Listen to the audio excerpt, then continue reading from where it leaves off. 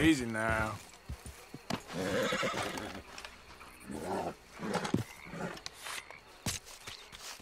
I know, girl. Just give me a second.